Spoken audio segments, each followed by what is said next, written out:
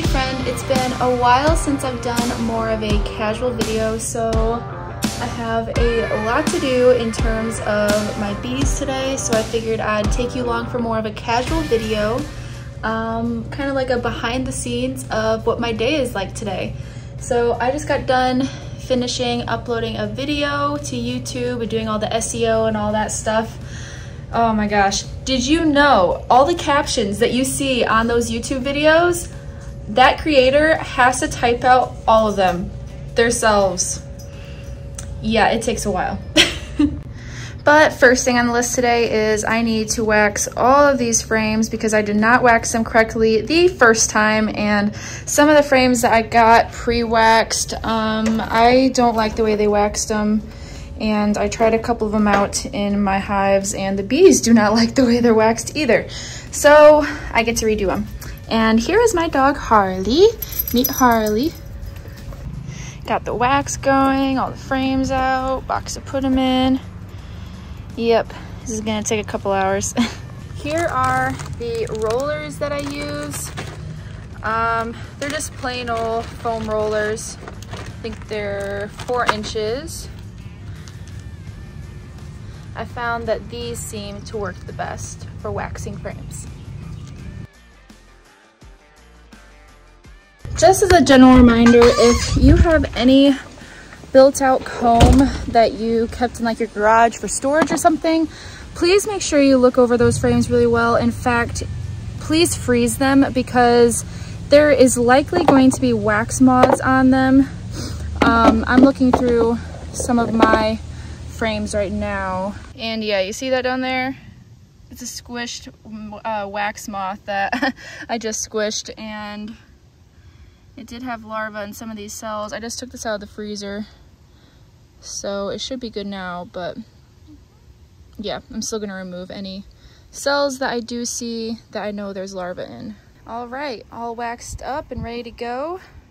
I'm gonna leave some of this old comb that was wonky out for the bees to eat and do whatever they want with. now out to the bee yard to check on some nucs. But first, we need a snack because nothing is worse than being out with the bees when you're hungry and I eat a lot. so actually, the nectar is really starting to flow here in Michigan. I've noticed um, my bees really aren't bringing in much at all right now, so I think it's time to pull the trigger on pulling some of my honey. Now, I only have three hives that I'm gonna be able to get any honey off of this year since all of my other ones are brand new.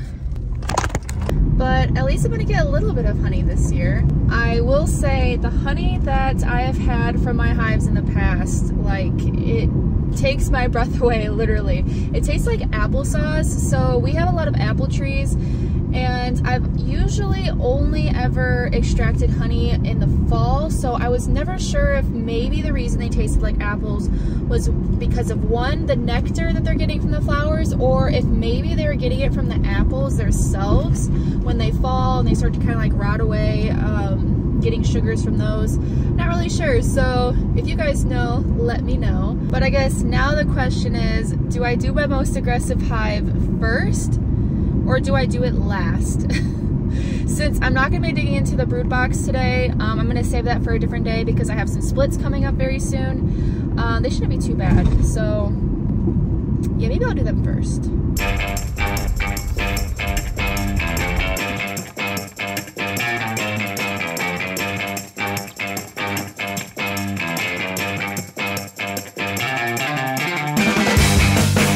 Okay, the weather has been really nice this time, so they shouldn't be too pissy. but we will see how this goes and hope I don't get stung. Ants under the lid.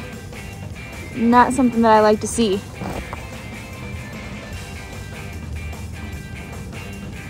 Okay, not yet. There's still a lot of honey that is close to being capped, but isn't quite capped yet. So I'm gonna give it a little bit more time before I pull that honey. So on to the next one. Now would you look at that? Look at all of these hives. So since I can't take honey off of that hive we just checked on, I'm not even gonna worry about looking at the other two that I was gonna think about taking honey off of because I like to do all my honey at once. I don't wanna be dirty and cleaning up uh, equipment twice. So yeah, a little bit easier to do it that way. But yeah, so I just got all of these nucs two days ago. My shipment of boxes will be in on Wednesday. So in two days, and then it'll take me a couple days to get them all put together and painted and then I should have these babies in here by Saturday hopefully so in the meantime I need to make sure they have enough resources make sure I don't have to feed probably gonna have to to be honest and start checking on all of these hives to see how quickly they're going through their sugar water. I already see that this one, I just put this out two days ago and it's already almost empty. So yeah, they're sucking it down pretty quick. Life of a beekeeper is literally having a constant supply uh, of sugar water in your car. So I have been doing some research lately on treatment-free beekeeping, but hold on, before you get your panties all up in a twist, hear me out. The African government banned mite treatments in order to let the bees evolve and adapt on their own. The first couple of years were tough, but after three years, only the strong genetics that developed mite resistance survived. And now today, African beekeepers are no longer affected by Varroa. I am very interested in developing a system of selecting my hives that show some level of resistance and start rearing queens for the rest of my colonies off of those. But the reason I am sharing this with you is I think if we all started moving towards a system where we do our best to only bring in VSH certified queens, that over time we could eventually see a day where our western honeybee is no longer affected by Varroa. Bees turn over fairly quickly, and some scientists believe that queens have a way of selecting drones with superior genetics, and workers can learn from each other. In the 1950s, there is this bird that's called the blue tit in the UK that had learned how to pop off the cap of milk bottles that were being delivered. And it would suck the cream off the top of the milk, and it only started with one bird. But then it taught others until every blue tit in the UK was popping off the caps to locals' milk. The bird was able to teach other birds. Now, that makes me wonder if one worker bee figure, figures out how to control for mites on its own, it will teach others in the colony. I understand the pushback for backyard beekeepers and those whose livelihood depends on their bees to not venture into treatment free beekeeping. It is a risk and could cost a lot of money in having to buy bees every year, but if we could all become more conscious of who we are buying our queens from and prioritize bringing in VSH qualities from some of the breeders who have successfully found a genetic of bee that does not require treatment, we could really see a shift in our fight against mites. And you never know, maybe I'll end up being one of those breeders since I plan to start pushing for this in my apiary. Okay, so nuc number one that I just went through my queen is itty bitty. So small that she can't even lay her eggs straight. She's laying them on the sides of the cell. And I know what you're probably thinking, make sure that you actually have a queen it's not laying workers. But I did see her and yeah, she's got a little itty bitty butt. Labeling these so that I could take notes and I know exactly what hive I'm talking about later. I've learned I need to take notes because I can't remember all of these.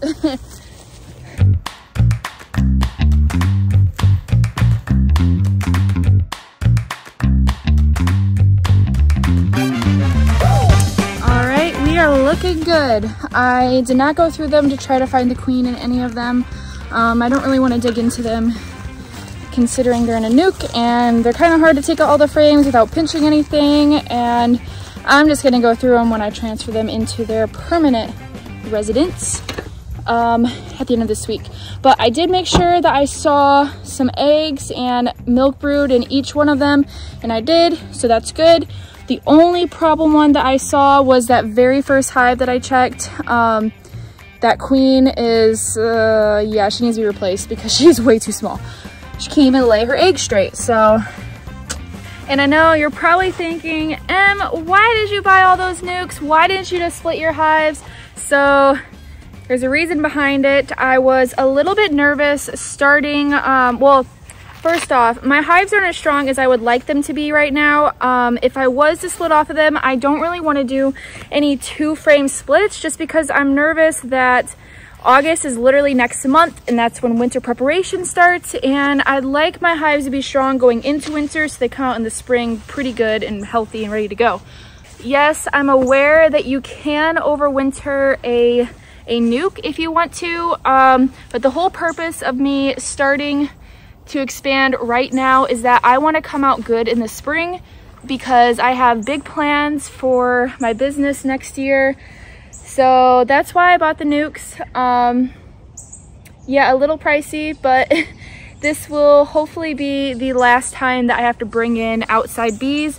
Everything after that will be splits just from my own hives. So yeah. So thanks for following along on my little agenda today with the bees. And I am so happy that you are here. Thank you so much for watching my videos. Um, it means the world to me, guys. You have no idea.